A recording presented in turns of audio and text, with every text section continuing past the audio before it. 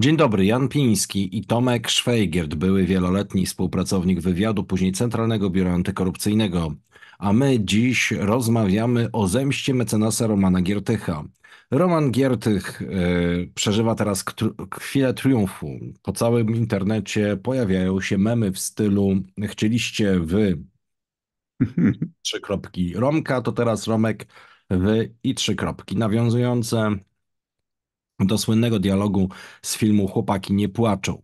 Natomiast cała sprawa to jest oczywiście pokłosie zeznań pana Tomasza e, Merca, który jest e, dyrektorem, był dyrektorem e, Funduszu Sprawiedliwości i przez dwa lata nagrał ponad 50 godzin rozmów E, w których jego zwierzchnicy ustawiają, to już wiemy, bo mamy próbkę, ustawiają e, e, przetargi za Fundusz Sprawiedliwości. Przypomnijmy, Fundusz Sprawiedliwości to była skarbonka polityków Solidarnej, Suwerennej Polski, czyli ludzi Ziobry, którzy też oczywiście odpalali działki ludziom PiSu. To było około pół miliarda rocznie. To są jakieś niewiarygodne pieniądze, które zostały prze, przeznaczone na korumpowanie mediów, na działalność po prostu stricte polityczną, na wspieranie E, mm, działalności e, politycznej ludzi Ziobry. No i teraz, szanowni państwo, e, jest ta zemsta. Za co to jest zemsta?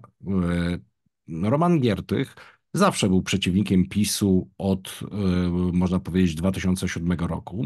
Wtedy on można powiedzieć, e, bo trylogia jest jedną z ulubionych książek mecenasa Giertycha, jak Wołodyjowski wysadził się e, z, funkcji wicepremiera razem z rządem Jarosława Kaczyńskiego, to znaczy odrzucił jego propozycję, wybierając śmierć polityczną, ponieważ było bardzo prawdopodobne, było to, do, było to graniczące z pewnością, że on i jego środowisko nie wejdzie do parlamentu. e, po wcześniejszych wyborach.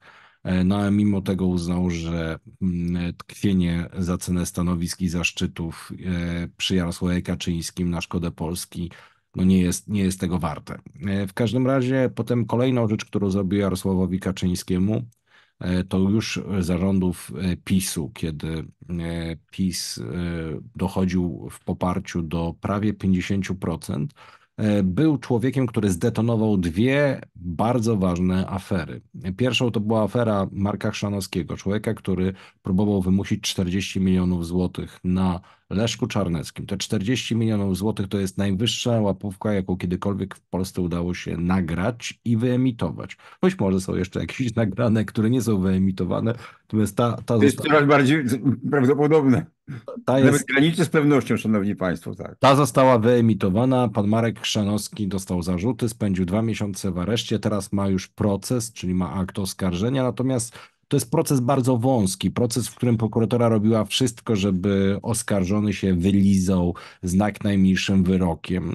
E, nie próbowano szukać, któż był w grupie trzymającej władzy, która pana Marka Chrzanowskiego do pana mm, Leszka Czarneckiego, miliardera, jeszcze wtedy wysłał. Dlaczego jeszcze wtedy? Bo po odrzuceniu korupcyjnego ultimatum od Chrzanowskiego, jemu ukradziono dwa banki. Zrobiono dokładnie to, co zapowiedzieli, że jak nie dasz nam łapówki, to ci ukradniemy te dwa banki.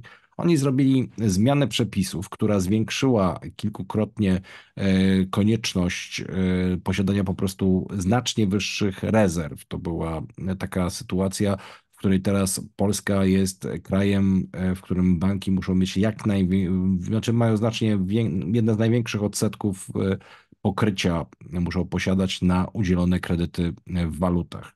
E, no, szanowni Państwo, e, tego typu zagrywka była po prostu takim zaproszeniem. Pewnie e, z tego, co Tomek może Państwu powiedzieć, gdyby pan Czarnecki zdecydował się płacić, to oczywiście na 40 milionach by się nie skończyło. No to 40 milionów to byłoby takie wpisowe i potem by przyszli i powiedzieli, no dobrze, i za każdym razem człowiek by się łudził, no, że skoro tyle zapłacił, to jeszcze raz zapłaci i może już będzie koniec. No ale pan e, Leszek Czarnecki okazał się zbyt przewidującym e, człowiekiem. E, no i po prostu odmówił. No to skończy... I mało tego, że odmówił, to złożył doniesienie i opublikował, opublikowano nagranie. No. W Gazecie Wyborczej, które strasznie mocno uderzyło w PiS, kiedy był najsilniejszy. Od tego zaczął się spadek popularności PiSu. Parę miesięcy po sprawie Leszka Czarneckiego pojawiło się, pojawiła się sprawa Geralda Bilkfeldnera, człowieka, który austriackiego biznesmena powinowatego Jarosława Kaczyńskiego, żonatego z jego kuzynką, którego Kaczyński wynajął do, y, do zrobienia dokumentacji do wybudowania dwóch, do przygotowania wybudowania dwóch wież w Warszawie, bliźniaków Lech i Jarosław. Te budynki wybudowane na y, gruntach przejętych za bezcen przez Kaczyńskiego na początku lat 90., taką inżynierią finansową, kogo interesuje, jak on to zrobił i dlaczego to jest kompletnie niemoralne, e, to polecam, a nawet było miejscami niezgodne z prawem, tylko że nie było ścigane, to polecam nasz materiał Tajemnica Majątku Kaczyńskiego. No i e, jakby powiedzieć long story short, w czasie, kiedy już odpalił tego e, Geralda Blickfellnera i jego roszczenia do Kaczyńskiego, bo on jeszcze ma dowody, uwagę na to, że Kaczyński wziął e, od niego łapówkę, wymusił łapówkę 50 tysięcy złotych na przekupienie jednego ze swoich współpracowników ówcześnie księdza, obecnie już świeckiego e, Sawicza, e, który e, miał wziąć te pieniądze za to, żeby zagłosować właśnie za tym, żeby zacząć rozpocząć budowę. Ja mam wrażenie, że już w tamtym czasie Kaczyński wiedział, że tej budowy nie rozpocznie i postanowił po prostu skasować finansowo tego kolesia, aby bardziej bolało. Po co to zrobił? Moja robocza hipoteza to jest taka, że Kaczyński trenował taki wariant Hioba na człowieku, z którego zamierzał zrobić po prostu wspólnika w jakichś większych przestępstwach. I chodziło o to, żeby zobaczyć, jak on zareaguje na takie podeptanie jego godności, okradzenie go z kasy, po prostu i skopanie. Jeżeli by y, to jest oczywiście hipoteza badawcza. Jeżeli by w tej mojej hipotezie badawczej, jeżeli on by posypał głowę popiołem, wytrzymał te wszystkie razy, to Jarosław by go po prostu, jak dobry Bóg Hioba, po prostu obdarzyłby go naszymi pieniędzmi w kilka razy bardziej, tylko po prostu musiał mieć przekonanie, że to jest człowiek, któremu mogą zaufać, czyli nawet jak go źle potraktują, to on nie weźmie, nie poleci od razu do adwokatów, do mediów i nie będzie się mścił. No więc okazało się, że e, ów austriacki biznesmen powinowaty Kaczyńskiego, Gerald Birkfellner, testu Hioba, który zafundował mu Kaczyński, nie przeszedł, naskarżył się Giertychowi, dostarczył taśm. Taśmy się następnie ukazały w Gazecie Wyborczej, rujnując doszczętnie latami pielęgnowany e, wizerunek po prostu patrioty skoncentrowanego na Polsce, na ojczyźnie, Bogu, a pojawił się po prostu e, no, niedoczyszczaczek w niedoczyszczonym garniturze. Biznesmen z początku lat 90., taki, no, w tym takim złym tego słowa znaczeniu. Cwaniaczek taki po prostu. A, tak. I teraz, i teraz... Kiedy może kogoś wywali, oszuka. Tak. No i teraz no, Giertycha, w zemście za to Giertychowi założono uczyto broni Pegasus, Szpiegowano go, szpiegowano jego najbliższych, e, próbowano znaleźć haki na wszystkich ludzi dookoła niego, między innymi na mnie. E, szanowni Państwo, jedną z moich bliskich osób próbowano przesłuchać do sprawy Giertycha w McDonald's. Po to oczywiście, żeby na bas grać na kartce papieru, co im tam ślina na język przyniesie i twierdzić, że to było powiedziane, ale, ale potem zostało wycofane przy podpisywaniu protokołu, ale jest dwóch świadków, tego typu zabawy. E, panowie uskuteczniali. Zresztą opisał to Tomasz Kaczmarek. I zemsta Romana Giertycha e, po prostu ma polegać obecnie na tym, że będzie prawo i sprawiedliwość z małej litery. Szanowni Państwo, mam tylko dobrą taką wiadomość e, dla Was wszystkich, którzy go skrzywdziliście, Romana i Rzeczpospolitą to ja wam powiem jedną rzecz, że on naprawdę, jak on mówi, że on jest czasami łagodny, ja mogę tutaj zaświadczyć, paręnaście lat temu była historia, nawet parę dziesiąt lat temu była historia, gdzie młody Roman Giertych został bezpodstawnie oskarżony o oskarżany w mediach o działanie na szkodę jakiejś spółki. Były tam preparowane tego dowody i po iluś, iluś latach E, e, uwaga, ta spółka przeszła w inne ręce, syndyk ją sprzedał. No i proszę Państwa, okazało się, że po dokładnym zbadaniu tego, co zostało odkupione, okazało się, że to syndyk okradł tą spółkę e, i on dostał bodajże jakieś 7 czy 8 lat więzienia, bo okazało się, że to on po prostu przelewał sobie pieniądze ze spółki, po czym fałszował wydruki i twierdził, że tam nie było kasy. I Roman Giertych wniósł na jego e, rzecz apelację jako oskarżyciel posiłkowy, bo uznał, że te, tam bodajże te 7 lat czy te 8 to to za dużo i żeby mu tam dali 4. Więc naprawdę macie szansę, panowie z Solidarnej Polski, Ziobro. e, Giertych, Giertych po prostu jako chrześcijanin, e, jak widać tutaj, taki krwiożerczy nie jest, więc pewnie, pewnie to parę lat więzienia, nie więcej, przynajmniej za te rzeczy, które na razie widzimy. Szanowni Państwo, jedną y, z, taką, z takich rzeczy, która rzeczy, znaczy z, takiej sytuacji, która e, wpłynęła na tę nienawiść, jest to, że mecenas Giertych y, działał tak skutecznie w sprawie Pegasus. Ja powiem Państwu, na moim przypadku, no, y, Janek pokazał mi, w sumie razem zrobiliśmy to, w jaki sposób w telefonie sprawdza się to, e, czy był używany Pegasus, w jaki sposób e, przesłać te dane. Ja przesłałem te dane i, szanowni państwo, w ciągu tego samego dnia, e, późnym wieczorem, zadzwonił do mnie pan Scott Rialton i z laboratorium Citizen Lab i dokładnie powiedział, w jaki sposób był używany wobec mnie Pegasus. Takich osób było bardzo dużo. E, ja nie muszę kardzić mecenasowi Giertychowi. Mhm. Pamiętacie Państwo, że to właśnie e, te działania, te raporty, które na początku były tak podważane i nie są upoważnione, żebym mówił o tych innych osobach, które skorzystały, czy o innych osobach, które nie chciały z tego skorzystać, a też były informacje, że, że były e, szpiegowane Pegasusem. E, PiS strasznie zależał. PiS przez to szalał. Oni byli e, wściekli, bo jak wiecie Państwo, temat Pegasusa, chociaż już jest tak mocno wałkowany i trochę poprzez y, te zachowanie Kaczyńskiego na komisji y, był obśmiany, teraz już jest zupełnie inaczej, jest niezwykle istotny. I to właśnie działania Giertycha do tego doprowadziły. Teraz Giertych pokazał jeszcze coś innego i usiłuje się y, wzbudzić jakieś mm, animozje pomiędzy Giertychem, pomiędzy ministrem Bodnarem, że mecenas Giertych pokazał Dlatego i uruchomił, uruchomił e, tę, te, te działania z panem dyrektorem Funduszu Sprawiedliwości, żeby w jakiś sposób konkurować z ministrem Bodnarem. Nie jest konkurowanie, to jest, szanowni państwo, już ten e, moment, żeby pokazać, że prokuratura, mówię to z pełną odpowiedzialnością, część ludzi z prokuratury stosuje obstrukcji to jest obstrukcja, mm, mimo dobrych, mimo szczerych chęci i prokuratora generalnego e, i pana ministra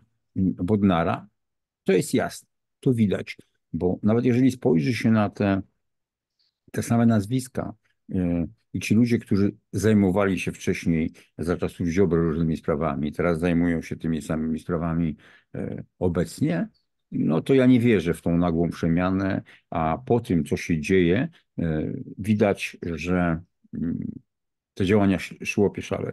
I mecenas Giertych, widzicie Państwo, czekał praktycznie od stycznia.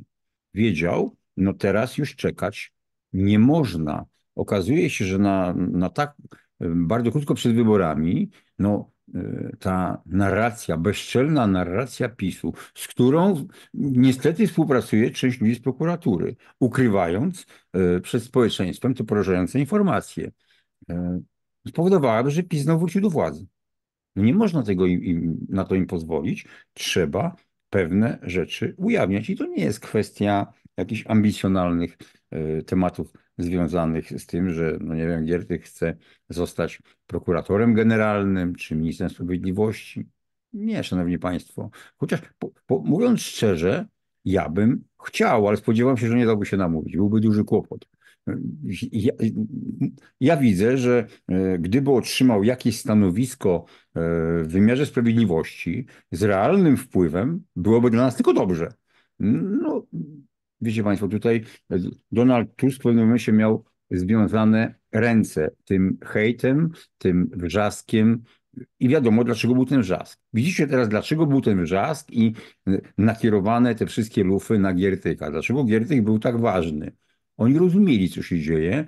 Sam Ziobro był wściekły, traktował to ambicjonalnie, bo mecenas Giertych po prostu nie przyjął go do roboty. Uznał go za słabego merytorycznie. Kiedy przyszedł, zobaczcie, e, Giertych jest jednym z niewielu ludzi e, z obozu władzy, gdzie potrafił w takim bardzo ważnym momencie powiedzieć, nie, ja tam nie będę, nie będę tego legitymizował, wyszedł i zrobił karierę. Zrobił duże pieniądze. Zarabia. Dlaczego? Ale nie, w spółkach, ale nie w spółkach Skarbu Nie w spółkach Skarbu Państwa. To jest najważniejsze, nie... Szanowni Państwo. On w latach... Na rynku poszedł i zrobił swoją fachowość. W latach 2007-2015 e, miał możliwość, jego koledzy rządzili, mieli, e, byli ministeria, ministrami, mieli e, dostęp do zleceń publicznych. Ja do dziś pamiętam, co on powtarzał.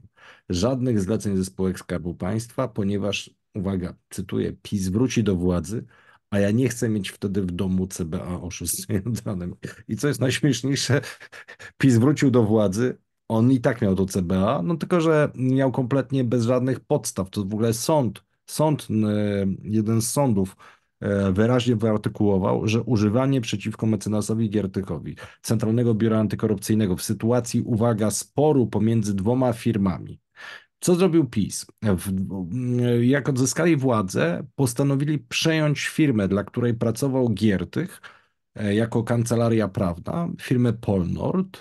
Przejęli ją poprzez aktywne zarządzanie pakietem akcji, e, które miało bodajże PZU Życie, jedna ze spółek PZU na pewno. Chodziło o to, że do, tej, do tego momentu to był zawsze pasywny inwestor w tą spółkę, a nagle zaczął rozgrywać i decydować o tym, kto jest we władzach i oni to zrobili tylko i wyłącznie po to, żeby nowe władze, które wybrali w ten sposób, E, wzięły kontrakty Giertycha i na tej podstawie, żeby szukały możliwości postawienia mu zarzutów. Te zarzuty są z przysłowiowej, przepraszam, D. Już nie chodzi o to, szanowni państwo, co jest w hitach, ale generalnie nie można oskarżać prawnika, tak samo jak nie można oskarżyć notariusza o treść umowy, której zawarł, jeżeli ona nie jest e, expressis verbis, e, na przykład, nie wiem, że notariusz nie, notarialnie na przykład nie, nie pozwolił sprzedać dziecka, e, nie spisał umowy na sprzedaż dziecka. Jeżeli prawnik... Nikt nie był pobity, nikt nie wymuszał, ktoś tak, chciał tak. takie warunki. Tak, tak, że koncepcja, koncepcja taka, jest że... nieporównywalne nawet, bo tam, koncepcja, tam koncepcja, że prawnik miał ma obowiązek dokonywać swoich własnych wycen, e, żeby stwierdzić, czy transakcje, do której przychodzą z nim klienci, są e, prawidłowe, czy są nieprawidłowe. Szanowni Państwo, to jest pomylenie z poplątaniem. No, prawnik po prostu spisuje umowy, które chcą ten, jego, swojego klienta zabezpiecza w jaki tam sposób może i tyle. Natomiast pomysły, że, że prawnicy mają badać zgodność z prawem, e, bo w tym wypadku chodzi o to, e, cała zabawa polega na tym, czy e, spółka Polnord mogła sprzedać, czy tam odkupić, odku, czy odkupić tam roszczenia, bo to były dwie spółki w pewnym momencie kontrolowane przez Ryszarda Krauzego. E, przez biznesmena. I to pytanie było takie, czy on mógł sobie sprzedać roszczenia pomiędzy spółkami. I to jest, szanowni państwo, najbardziej w ogóle śmieszne i zabawne jest to, że prokuratorzy pisali do Ziobry, że nawet e, biorąc pod uwagę absurdalność konstrukcji, te sprawy są w toku przed sądami. Więc tak. jak on może stwierdzać, czy coś przyniosło stratę, czy przyniosło zysk, skoro one się jeszcze nie skończyły, szanowni państwo. E, to jest tak, ja, ja lata temu to było, szanowni państwo, 25 lat temu. Zainwestowałem trochę osobistych pieniędzy w kupno starych obligacji e, Skarbu Państwa, których zapadalność kończyła się w 2005 roku w grudniu. E, ponieważ chciałem przetestować, czy można e, wygrać, powinienem był wygrać, skoro państwo polskie uznawało ciągłość i uwaga, spłaciło zachodnich wierzycieli z tych samych serii obligacji, ale polskich uważała, że nie musi spłacać. Oczywiście powiem Państwu tak, że gdyby sądy e, kierowały się prawem, e, a nie takim subiektywnym podejściem akurat w tej konkretnej sprawie, to sądy uznały, że ponieważ myśmy no, nie prezentowali fałszywej historii, że te papiery to są dziadek kupił w 1938, aby wspomóc polską, polskie wojsko i to, co przetrwało gdzieś w piwnicy, tylko powiedzieliśmy, że mamy po prostu, jesteśmy właścicielami E, nabyliśmy prawa do roszczenia, roszczeniami można handlować i na tej bazie e, sobie e, sąd nam oddalił te żądania. Natomiast no, ja poniosłem stratę finansową. No, gdybym zrobił to jako spółka, to by mnie ktoś mógł sądzić, że wydałem pieniądze mm, niesłusznie. No, na tym polega prowadzenie działalności gospodarczej.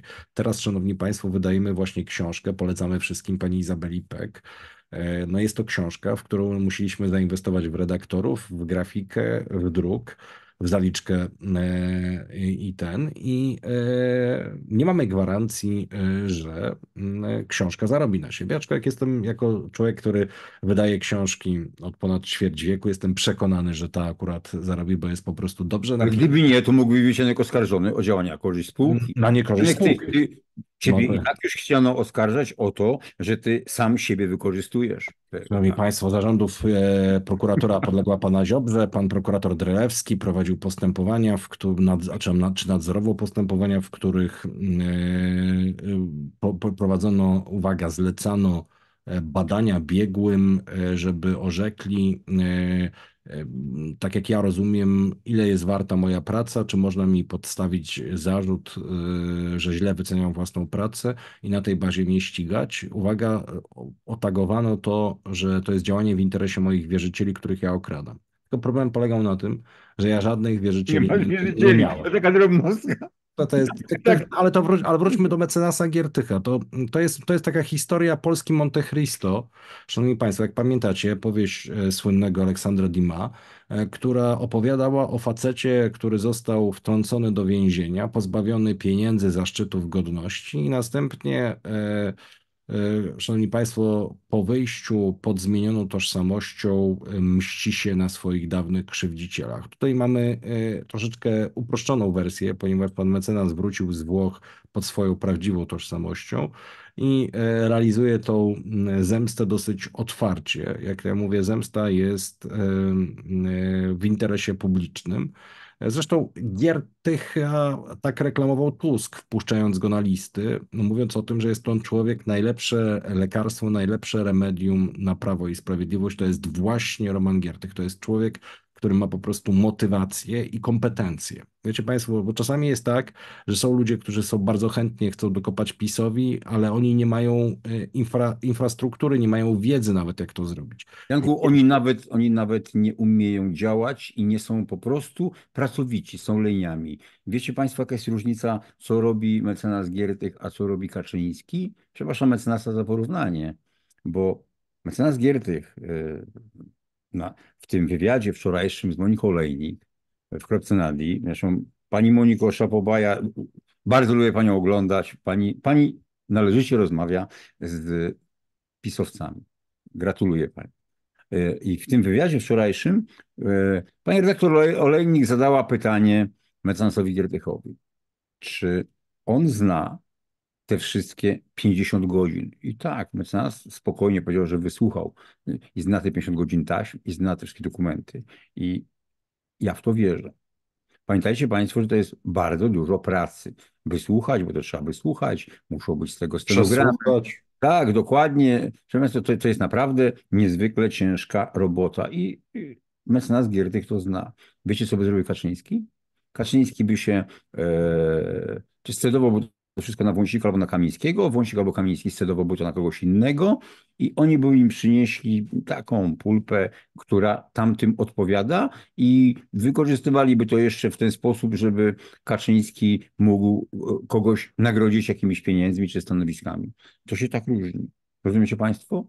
Giertych sam usiadł i wysłuchał 50 godzin nagrań. Przejrzał te dokumenty może się goś poradzić, ale wie sam, jak to, jak to się dzieje. Kaczyński by tego nie dał rady zrobić. Kaczyńskiego interesują ploty, ochyda, e, jakiś taki pudelek wąsika, to go interesowało. Teraz już trochę przestał, ale to go najbardziej interesowało.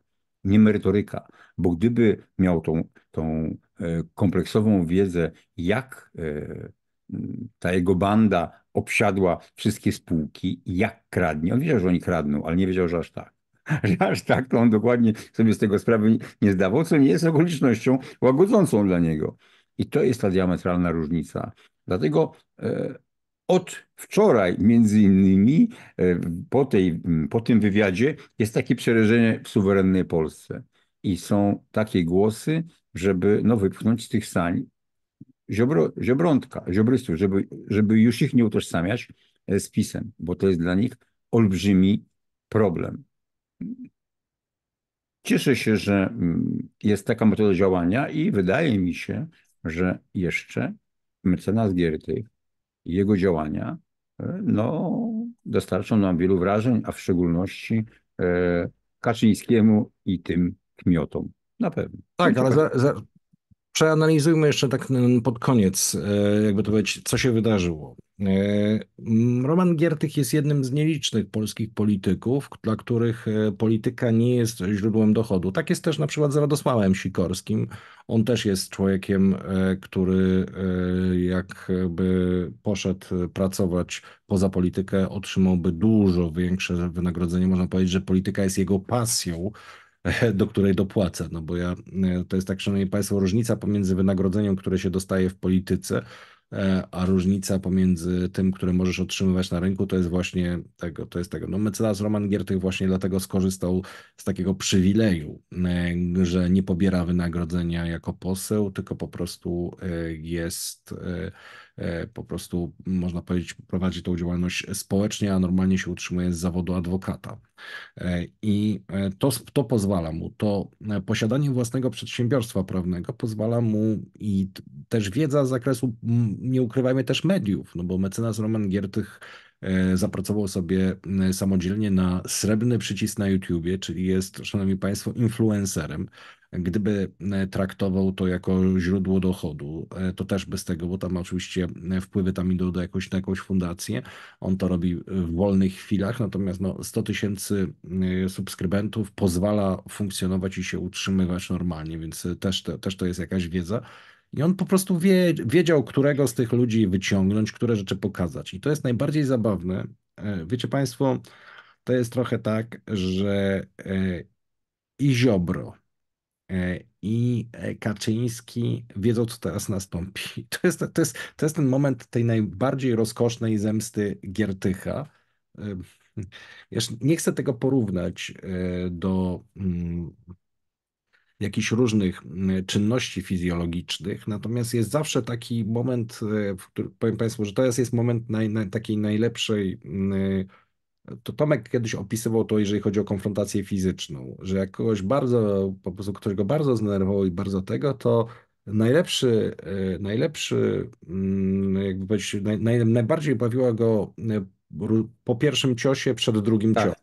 Tak, to, to, szanowni państwo, to jest rewelacyjne uderzenie, kiedy jest ten paniczny strach. Tak. Już wie, gdzie już, gdzie, już, gdzie już druga strona wie, z kim ma do czynienia. Opiszę wam to opisowo, to taka piana na zębach, piana na ustach, widać, że już zęby poszły, nagle ojej, jak tak jest, jak to się mogło stać, za chwilę nastąpi ja egzekucja. Tak. Co ja narobiłem, co ja narobiłem. Tak. I teraz jest ta sytuacja e, medialno-polityczna, to znaczy Ziobro było na zasadzie, o Boże, po co szliśmy po tego Giertych? Tak.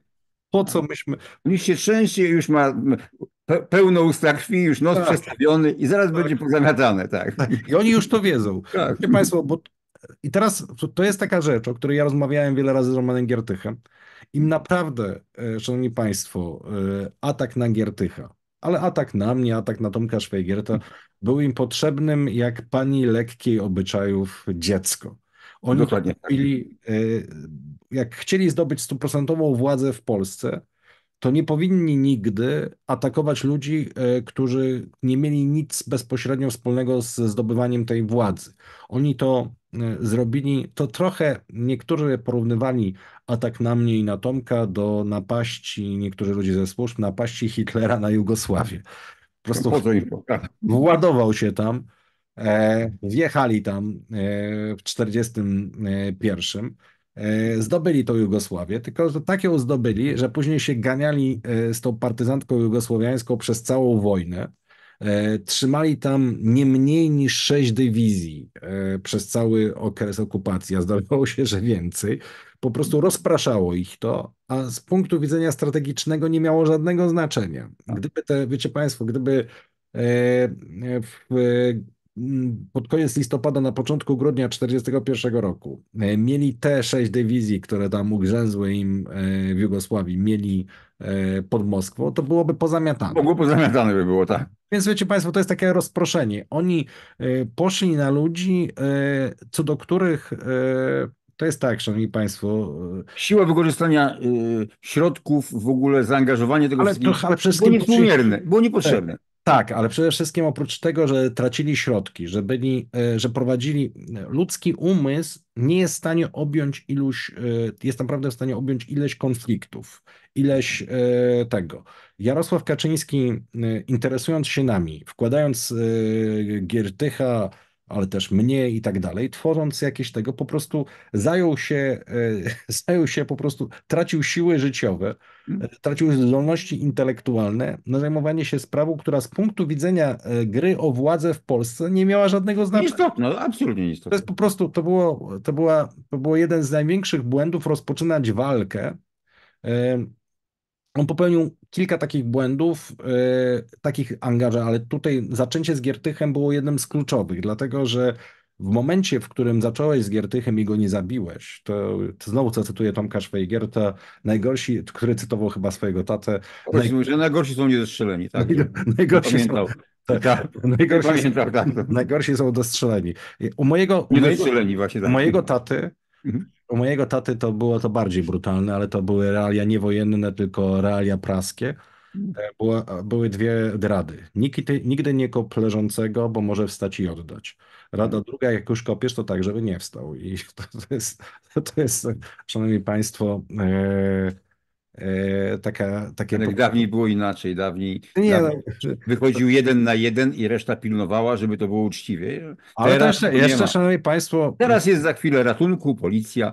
Tak, szanowni. Państwo, ja pamiętam jeszcze taką historię, która, jak cię zawsze mnie pytają, najbardziej heroiczny czyn w moim życiu.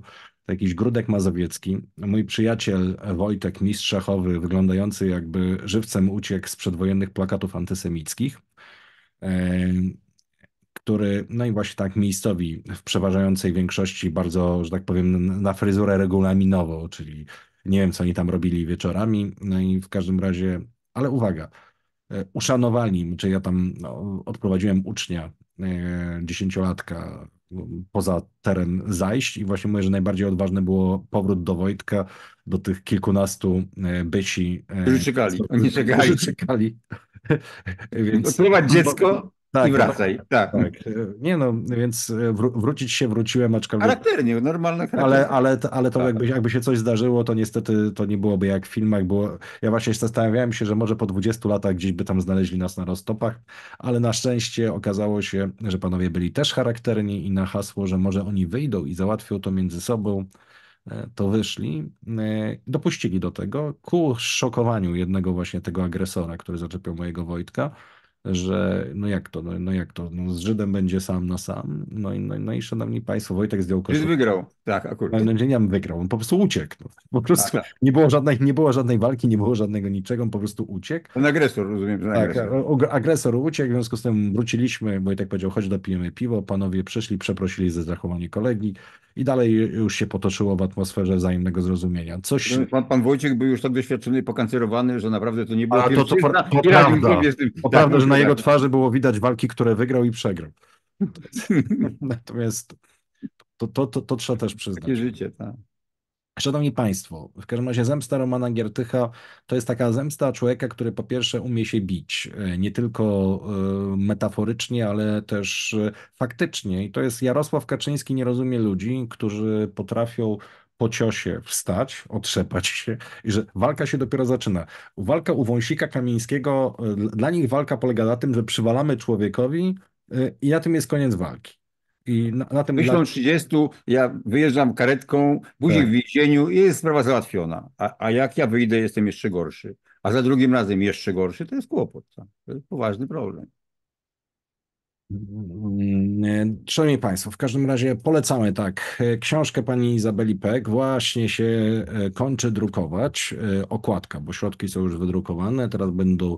Wąsik już nie spali drukarni, już, już nie, nie, Tak, nie ale no i widzisz, ja muszę znowu opowiadać. Szanowni Państwo, w czasie rządów PiSu, kiedy książka była przygotowywana do druku, to jest 2000-2001 rok, oni planowali, e, na zasadzie planowali, no, jestem ciekaw, jak oni się będą bronić, bo, bo są świadkowie, e, No. że e, była, padło hasło, a może by tak spalić drukarnię. Wiecie Państwo, e, ja cały czas e, czekam, aż ktoś w Agencji Bezpieczeństwa Wewnętrznego, ktoś w tych służbach będzie chciał pogadać, bo na razie niestety e, mamy tak, że ogłoszono, e, e, jak to się, jak to ująć, ogłoszono e, audyt, który, uwaga, prowadziły też osoby, które same się powinny znaleźć w tym audycie jako pisowcy, którzy łamali prawo. No więc dziwnym trafem nic nie znaleziono. Wiecie Państwo, to jest naprawdę, Szanowni Państwo, historia bez cenzury to jest rosyjski cud wódki.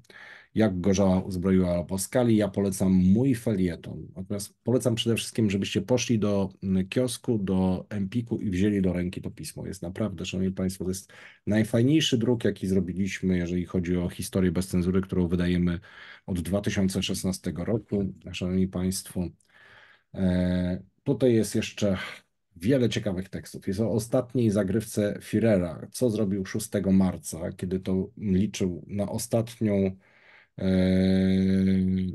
operację, która miała odmienić los wojny. To było takie ostatnie archem, takie już naprawdę ostatnie, ale, ale się okazało jeszcze słabsze od tego pierwszego. Jest, szanowni państwo, e, na przykład e, materiał o tym, o konflikcie wśród wyznawców Mahometa, który trwa już 1400 lat. I uwaga, jest o prezydentce Polski, o żonie Ignacego Mościckiego, człowieka, e, babki, która tak naprawdę rządziła II Rzeczpospolitą, ponieważ jej mężuś e, najpierw wykonywał polecenia Piłsudskiego, a potem się nie interesował już niczym innym poza konsumpcją e, swoich, powiedzmy, owoców władzy, w tym też kochanek. W związku z tym po prostu funkcjonował jak tak naprawdę ostatni król Polski, Ignacy Mościcki. Szanowni Państwo, naprawdę warto. E, Oczywiście polecamy też nasze dwa pozostałe tytuły, Historia Ekspert i Historia e, na weekend. One także są dostępne e, przez internet na stronie capitalbook.com.pl, jak ktoś chce zamówić wysyłkowo. No Tak. Jarosław, Jarosław Kaczyński powinien dokładnie przyjrzeć się historii Mościckiego, szczególnie pod koniec, kiedy było taki dowcip, takie przysłowie, że tyle znaczy, co pan Ignacy, a pan Ignacy to nic nie znaczy. I to było tak oczywiście znacy, nieznacy. Jeszcze taki to, to tak jest, panie Jarosławie, pan już też coraz mniej znacy, ale pan się, wymowa zerowa, ale pan, panie Jarosławie, e, panie carze przed 17.30 i panie e, Jaryco po 17.30, e, pan się pyta teraz, czy to możliwe, żeby takie taśmy były nagrane w PiSie. Panie Jarosławie, możliwe. Wcale mi się nie zdziwił, że takie taśmy były nagrane tam, gdzie pan jest jednym z głównych aktorów. To naprawdę jest możliwe, panie Jarosławie. Jak teraz zaczyna się ten pana. mm, No nie, bo nam wytną. y, Ta pana partia, ta pana partia zaczyna się sypać, to wyjdą te nagrania. Wyjdą, wyjdą, wie pan, a tutaj jest to, czego pan tak się boi. Rzeczywiście e, teczka buź to jest przy tym małe miki i zabawa. Do więzienia, panie Jarosławie, do więzienia. Do więzienia. A Państwu mówimy do zobaczenia.